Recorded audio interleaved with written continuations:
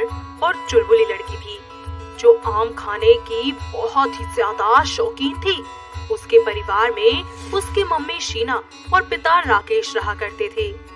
ऐसे ही एक दिन भूमि सोकर उठती है और फ्रेश होकर वो जैसे ही अपने कमरे से बाहर आती है तो देखती है कि बरामदे में टेबल पर बहुत सारी आम की टोकरियाँ रखी है, जिसे देखकर उसका मन खुशी से झूम उठता है।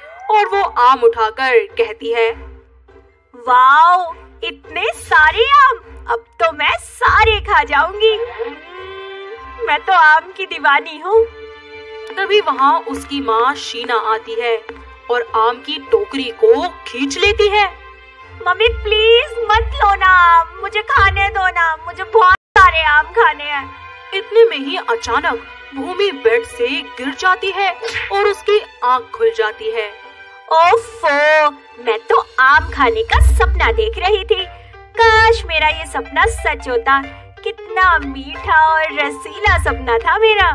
भूमि जल्दी से बेड से उठती है और तैयार होकर फ्रिज में से जाकर जूस की बोतल निकालती है। तो उसे फ्रिज में बहुत सारे आम दिखते हैं। तब वो खुद से कहती है, नहीं नहीं, ये फिर से मेरा कोई सपना होगा। भूमि तू आम के चक्कर में पागल होती जा रही है। जहाँ भी देखती है, तुझे बस आम ही नज़र आते हैं। सब टेबल पर बैठकर एक साथ खाना खा रहे होते हैं, जहाँ एक प्लेट में आम के बहुत सारे स्लाइसेस रखे होते हैं। उसे भी भूमि अपना वहम समझकर नहीं खाती। तभी उसकी माँ उससे बोलती है, अरे अरे भूमि बेटा, आम खाना, ये तो तेरे फेवरेट है। तूने अभी तक एक भी स्लाइस नहीं खाई? माँ झूठ मत बोलिए, वहाँ कोई आम नहीं है। अरे पागल हो गई है क्या? तेरे पापा लेकर आए हैं तेरे लिए। ये सुनते ही भूमि प्लेट में रखे आम को छूती है और उन पर टूट पड़ती है और एक एक करके सारे आम के स्लाइसेस को खा जाती है। वक्त बीतता जाता है। ऐसे ही एक दिन भूमि मार्केट आई होती है। तभी उसकी नज़र एक शॉप पर पड़ती है। जहाँ आम पर 85 परसेंट का डिस्काउंट होता है और जब तक वो वहाँ पहुँचती है तो सारे आम बिक चुके होते हैं। आखिर में माहिर नाम का एक लड़का बहुत सारे आम को ले जा रहा होता है तो भूमि उसे देखकर बोलती है एक्सक्यूज मी सुनिए हेलो जी बोलिए। आ, वो मुझे सॉरी बट मैंने ये सारे आम ऑलरेडी खरीद लिए हैं और ये मैं आपको नहीं दे सकता। Please please please I request you give me only one mango please please ये मेरे बहुत फेवरेट है। ओके ओके देता हूँ। पास में ही एक पार्क है वहाँ चलते हैं। दोनों वहाँ पहुँच कर आम खाते हैं और बातें करने लगते हैं। लगता है तुम्हें मैंगोज बहुत पसंद है।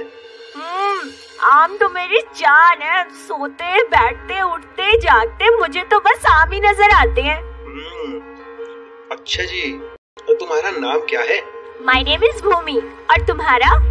मेरा नाम माहिर है क्योंकि मैं हर काम में माहिर हूँ। ओह रियली यार? यू आर सो फनी माहिर भूमि से बात करते करते उसे अपना दिल दे बैठता है और भूमि को भी माहिर पसंद आ जाता है। जाते वक्त माहिर उसे सारे आम दे जाता है। भूमि मना तो करती है लेकिन माहिर ज़बरदस्ती उसे सारे आम दे देता है। वक्त बीतता जाता है। धीरे धीरे दोनों एक दूसरे से प्यार करने लगते हैं और शादी करने का फैसला लेते हैं।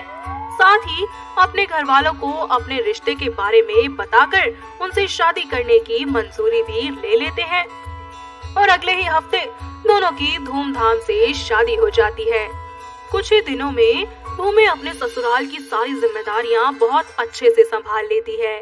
ऐसे ही एक दिन जब वो रसोई में जाती है तो उसे आम की चार पेटियाँ नज़र आती है उन आमों को देखकर उससे सब्र नहीं होता और वो उनमें से कुछ आमों का आइसक्रीम कुछ का मैंगो शेक कुछ का आम पन्ना और कुछ आमों को रसोई में ही खड़े खड़े खा जाती है तभी उसकी सास दुर्गेश और पति वहाँ आते हैं और एक बेटी को गायब देखकर बोलते हैं अरे भूमि यहाँ से आम की एक पेटी और कहाँ गई? आ, तो मैंने यूज़ कर ली। मैंने कुछ आम का मैंगो शेक बना दिया कुछ आम का आम पन्ना बना दिया और भी काफ़ी कुछ बनाया है मैंने। क्या? ये तुमने क्या किया भूमि? ये मेरे बॉस को देनी थी। अर्जेंट में ये मेरे बॉस को देनी थी। उन्होंने मेरे घर पर रखवाई थी। अब क्या होगा? नास बेटी करम जली बेलुड़ी। अरे मेरे बेटे को नौकरी से निकलवाना चाहती है क्या? अरे किससे पूछकर तूने आम की पेटियों को हाथ लगाया?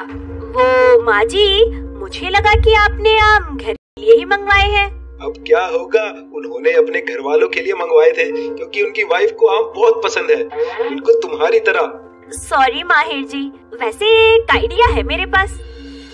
भूमि दोनों को उस आइडिया के बारे में बताती है और वैसा ही करने को बोलती है। कुछ देर बाद उनका वेलकम करते हैं और तभी माहिर बोलता है आइए सर बैठिए। तो मैं आपके लिए एक बहुत इंटरेस्टिंग चीज़ मंगवाता हूँ। भूमि जरा ले आओ सब। अरे भाई ऐसा भी क्या है? सर आपकी वाइफ को मैंगोस बहुत पसंद है ना? इसलिए मैंने उनके लिए अपनी वाइफ से कुछ बनवाया है। ओहो, ओहो, क्या बात है? अच्छा थैंक यू माहिर। भूमि डाइनिंग टेबल पर आम की अलग अलग डिशेस रख देती है जैसे कि mango shake ice cream mango custard mango cake आम पन्ना मैंगो आइस इत्यादि। सभी लोग बैठकर उन्हें खाते हैं। इसे खाकर माहिर का बॉस और उसकी वाइफ बहुत ही ज़्यादा इम्प्रेस हो जाते हैं और बोलते हैं ओ वाह भूमि तुमने तो मेरा दिल खुश कर दिया। आज से पहले मैंने आम की इतनी सारी डिशेस कभी नहीं खाई सच में बहुत ही डिलीशियस है। और हाँ माहिर वो जो तुम्हारे घर कल आम की चार पेटी आई थी उनमें से दो पेटी तुम ले लो और दो मेरी कार में रखवा देना। और हाँ इसे गिफ्ट समझना ओके ओके सर माहिर एक प्लेट में आम परोस कर भूमि के लिए ले जाता है और उसके पास आकर कहता है भूमि आज तुमने कमाल कर दिया सच में और सर ने हमें एक आम की एक्स्ट्रा पेटी भी दी है। वाह भाई आज मैं तुम्हें अपने हाथों से आम खिलाऊँगा। माहिर भूमि के होठों पर आम की स्लाइस लगाता है और रोमांटिक से तरीके से उसे खिलाता है। साथ ही एक हाथ उसकी कमर पर रखकर उसे अपनी तरफ़ खींच लेता है। दोनों के बीच किस हो जाती है।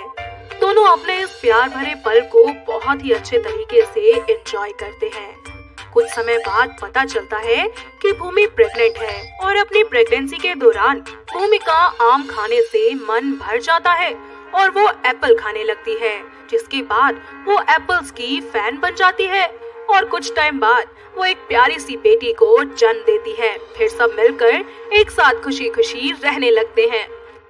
दोस्तों, अगर आपको ये कहानी पसंद आई तो इसे लाइक करें शेयर करें और कमेंट करके बताएँ कि कहानी में आपको सबसे अच्छा क्या लगा।